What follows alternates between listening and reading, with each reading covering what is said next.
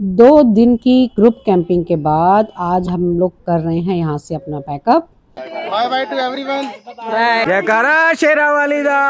बोल सच्चे दरबार की जय। सर गाड़ी को ऐसे चमकाते हैं। साफ़ सुथरी होनी चाहिए गाड़ी। हमारा गाँव अब किसी दूसरी जगह जाके बसने वाला है। लोग जा रहे हैं नदी पे नहाने के लिए और बीच में आ गए हैं खच्चर।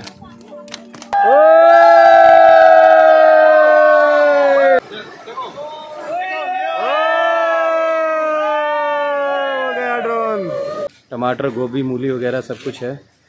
अंदर फ्रूट्स भी हैं। लेक के बैक साइड पे पूरे देवदारी, देवदार हैं। कुलचा पार्टी होने लगी है जी। एक कुंड है, माता दुर्गा कुंड। बिल्कुल रिलैक्स मूड में अगर आप रहना चाहते हैं तो आपके लिए ही ये जगह बनी है। Hello friends welcome back again एक नई सुबह के साथ आप सभी को प्यार भरा नमस्कार। दो दिन की ग्रुप कैंपिंग के बाद आज हम लोग कर रहे हैं यहाँ से अपना पैकअप और इसके बाद सब लोग अलग अलग दिशाओं में निकल जाएँगे। देखते हैं हम लोगों के साथ कितने लोग नेक्स्ट कैंपिंग के लिए निकलते हैं और जहाँ भी हम जाएँगे, आपको वहाँ के नज़ारे दिखाएँगे। हम लोगों की भी सामान की लगभग सारी ही पैकिंग हो गई है। ऑनिंग को हमने सबसे एंड में पैक किया क्योंकि बारिश का मौसम था और इससे थोड़ा सा सामान हमारा ढका हुआ था। और इसको पैक करके हम भी रेडी होते हैं चलने के लिए। Okay bye bye bye to everyone bye एक गाड़ी की बैटरी डिस्चार्ज हो गई है और वो स्टार्ट नहीं हो रही है तो सब लोग मिलकर कोशिश कर रहे हैं उस गाड़ी को स्टार्ट करने की।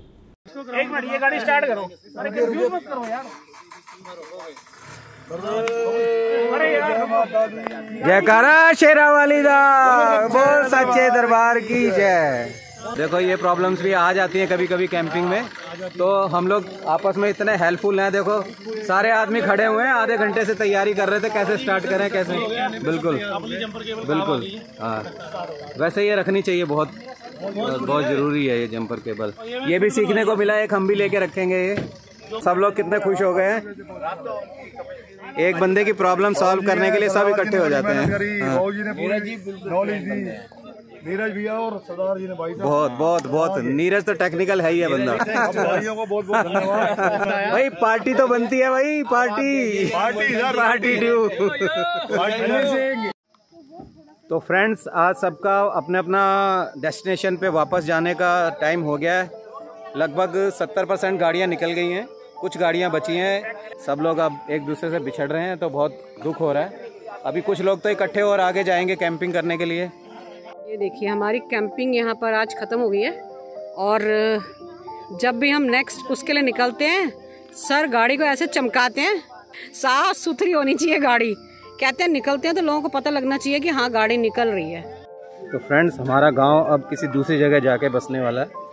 यहाँ पर हमने जो दो दिन की कैंपिंग की, उसमें बहुत मज़ा आया। अब सब गाड़ियाँ लग गई हैं लाइन में।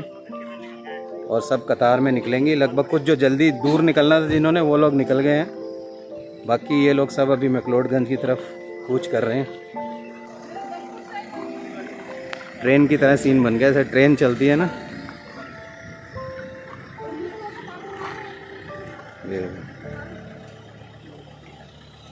ये गाड़ियों की ट्रेन। दो दिन की कैंपिंग खत्म करने के बाद अब नो अब हम जा रहे हैं आगे मैकलॉडगंज। और उसमें भी कुछ गाड़ियाँ हमारे साथ रहेंगी। देखते हैं कितने लोग हमारे साथ वहाँ पर मैकलोडगंज ज्वाइन करते हैं। और आगे का हाल हम आपको बताते रहेंगे। मैकलोडगंज जाते हुए रास्ते में बहुत बढ़िया नदी पड़ी है। अभी सबका मन कर रहा है नीचे उतर जाएँ।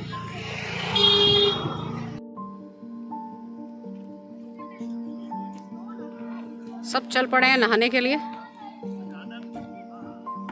लोग जा रहे हैं नदी पे नहाने के लिए और बीच में आ गए हैं खच्चर।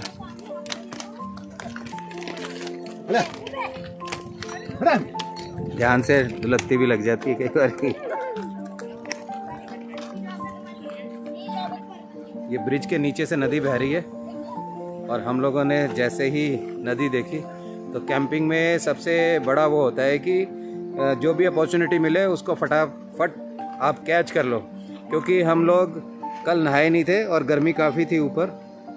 तो यहाँ इतना सारा पानी देख के और सब लोगों का मन कर गया है कि पहले नहा लेते हैं यहाँ पर। ध्यान से आना भाई।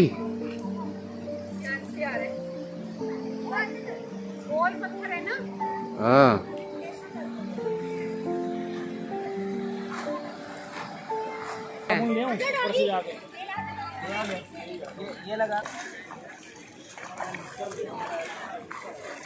हर हर गंगे।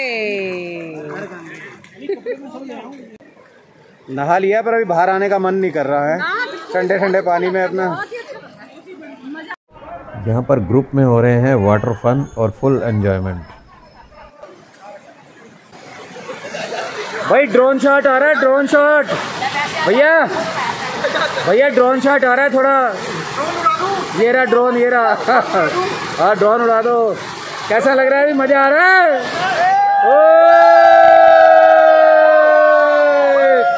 ओवरलैंडिंग कम्युनिटी जिंदाबाद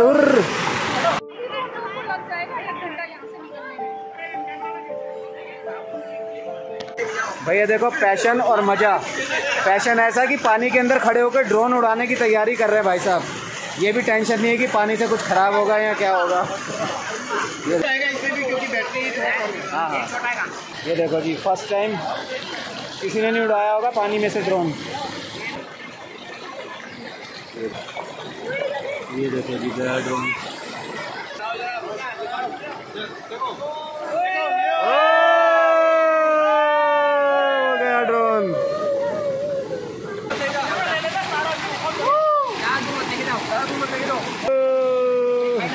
देखो देखो देखो देखो सब ऊपर देखो।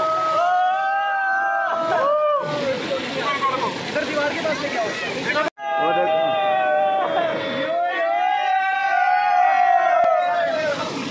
भाई, हम लोगों का प्रोग्राम बन गया। अब नड्डी जाने का, नड्डी में कैंपिंग करेंगे और मैकलोडगंज को आते हुए एक्सप्लोर करेंगे। और वहाँ पहुँच रहे हैं कैंपिंग के लिए तो थोड़ी सब्ज़ियाँ यहीं से ले लेते हैं। आगे जाके मिले, नहीं मिले। यहाँ पर बहुत फ्रेश लग रहे हैं। टमाटर, गोभी, मूली वगैरह सब कुछ है। अंदर फ्रूट्स भी हैं। बनाना। पहले ले लेते हैं वेजिटेबल्स तो फ्रेंड्स हम लोग पहुँच गए हैं डल लेक पर। जो कि नड्डी से लगभग डेढ़ किलोमीटर पहले है। और यहाँ आते ही ऐसा अल्टीमेट सीन दिखाई दिया है ना। लेक के बैक साइड पे पूरे देवदारी देवदार हैं। बहुत ही अल्टीमेट सीन है। कह सकते हैं nature is at its best here और मौसम भी कुछ यहाँ कूल कूल हो गया। ठंडा जैसे नीचे धर्मशाला से नीचे हम लोग रुके हुए थे। वहाँ पे काफ़ी गर्मी थी और पसीने छूट रहे थे। और यहाँ पर बिल्कुल ऐसा लग रहा है जन्नत में आ गए हैं। वो ऊपर फॉग है, देखिए आप। फॉग से ही आइडिया लगता है कि मौसम कितना ठंडा होगा यहाँ। ठंडी ठंडी हवा आ रही है।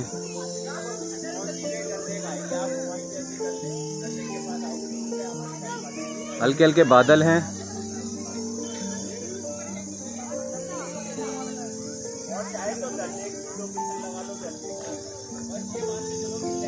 ये देखिए, सारा देवदार ही देवदार। यहाँ पर तो एनिमल्स भी इतना रिलैक्स फील कर रहे हैं, आराम से लेटे हुए हैं। एकदम से वेदर का इतना चेंज आ गया ना, लगभग 20 किलोमीटर धर्मशाला से आगे हम लोग आए हैं, और वेदर में बिल्कुल ही ज़मीन आसमान का फ़र्क है।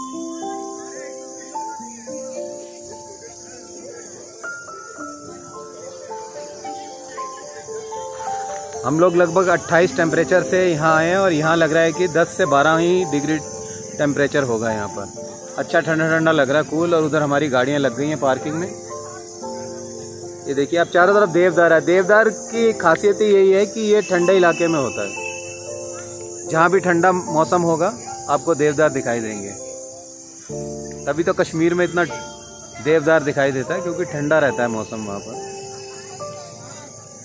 देखिए। यहाँ मज़ा भी आ रहा है कुछ ब्लॉग बनाने का।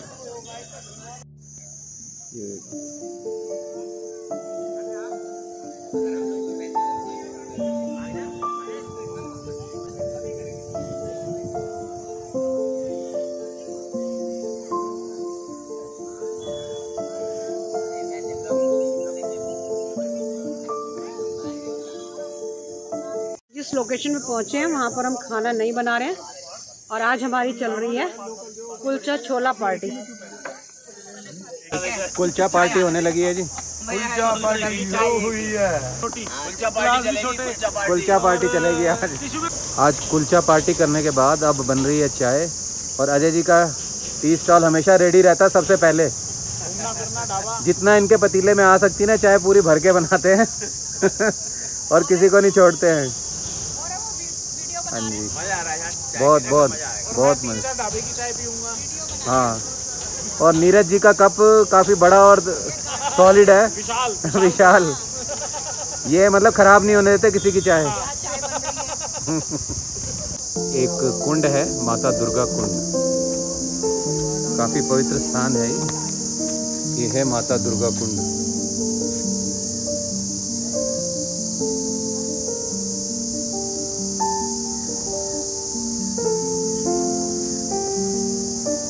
जय माता जय माता रानी।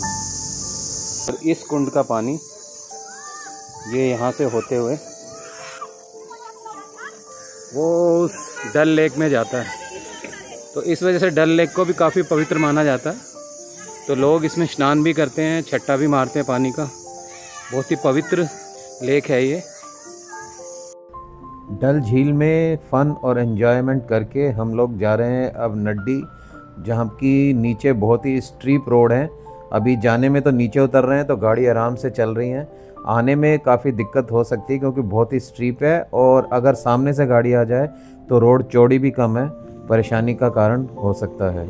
लेकिन व्यू इतने ज़बरदस्त हैं। अल्टीमेट कि गाड़ी ड्राइव करने में भी मज़ा आ रहा है और सीन देखने में भी बहुत ही आनंद आ रहा है। क्या देवदार के वृक्ष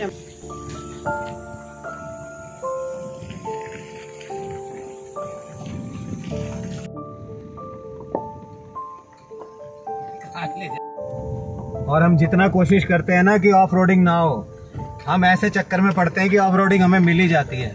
एक तो स्ट्रीप और ऊपर से टूटी हुई रोड और हमारी ये फ्रंट व्हील ड्राइव इसलिए थोड़ी वो लगती है। डर नहीं लगता बट सेंसिबल नहीं है। ऐसे में जाना। पर जब ग्रुप में होते हैं ग्रुप चल रहा है तो साथ में मजबूरी है, चलना ही है। ये ग्रुप में हमारी गाड़ियाँ जा रही हैं आगे। यहाँ पे तो थोड़ा प्लेन आ गया एरिया अदरवाइज़ बिल्कुल स्ट्रीट था पीछे। कुछ गाड़ियाँ आगे हैं और शायद कुछ पीछे है। पीछे तो कोई भी नहीं मेरे को लग रहा। है नहीं होनी तो चाहिए कल लेकिन ओ भाई साहब ये देखो जरा। क्या लैंड स्लाइडिंग हो रखी है।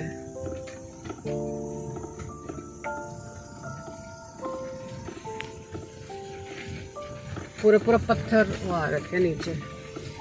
एक अच्छी बात है कि अभी टाइम ज़्यादा नहीं हुआ है। लगभग साढ़े तीन बजे है। अगर थोड़ा अंधेरे का होता तो तब तो मैं कहीं साइड पे लगा देता गाड़ी आज। क्योंकि हम बहुत एक्सपीरियंस ले चुके हैं इन चीज़ों का। लेकिन सीनिक ब्यूटी बहुत ही अलग है और अल्टीमेट है। ऐसे ही थोड़ा ना सब जने लोग हिमाचल घूमने के लिए चलते हैं।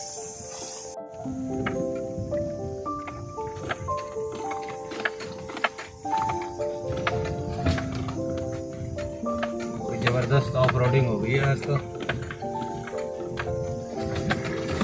ऐसे में आने के लिए तो रियर व्हील हो या फोर बाई फोर हाँ। फोर बाई फोर ही है इसमें आने लायक तो। अभी गीली जगह है स्ट्रीट पे अगर गीला हो तो स्लिप भी मारता है ना। पूछ तो रहे हैं कोई गाड़ी वाले वो वो आगे वो वाले।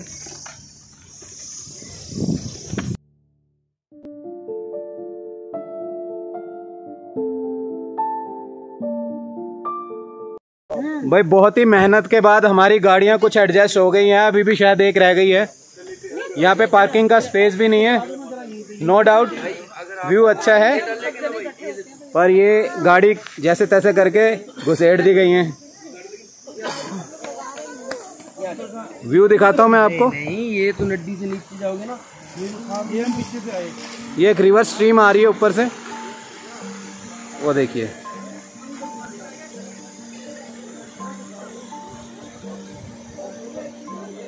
बिल्कुल रिलैक्स मूड में अगर आप रहना चाहते हैं तो आपके लिए ही ये जगह बनी है। क्योंकि तो गाड़ियाँ स्ट्रीप और ऑफ़ रोडिंग होने के कारण बहुत कम आती हैं यहाँ पर। मस्त ब्यूटी है, मस्त। लाजवाब।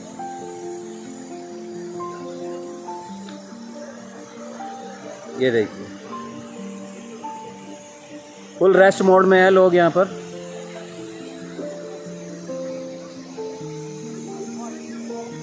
और ये भीम है पत्थर वे टू रिवर लिखा हुआ है इस पर